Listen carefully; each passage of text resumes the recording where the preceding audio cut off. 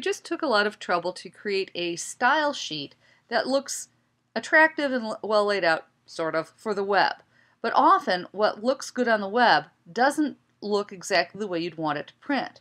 Frequently, you would want something that has a serif font that's mostly black and white if you're working on printing something for on paper using the print settings.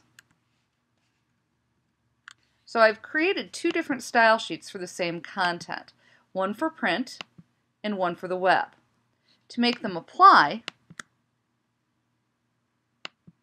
you need to change your settings in the head section of your HTML.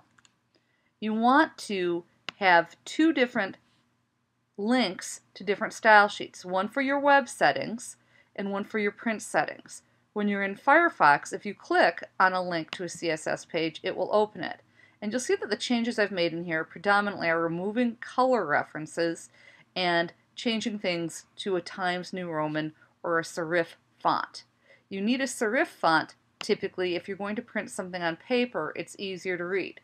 On the web, it's easier to read a sans serif font. So this shows you the differences in the way the pages would look printed versus not, and to test it,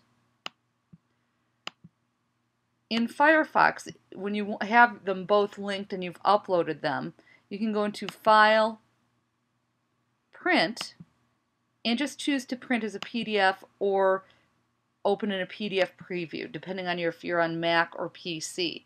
But if you look at the PDF viewing, you will see exactly how it will show up with the alternate style sheets. So please make sure to hand in, and I do want you to test it, save it as a PDF, and so please hand in your PDF as well as the link to your page when you do this. And please go ahead and just use the work from the last exercise.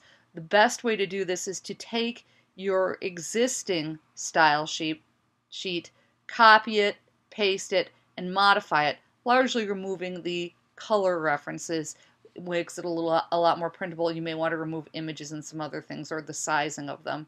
You can change some of that too. So that's how you add multiple style sheets.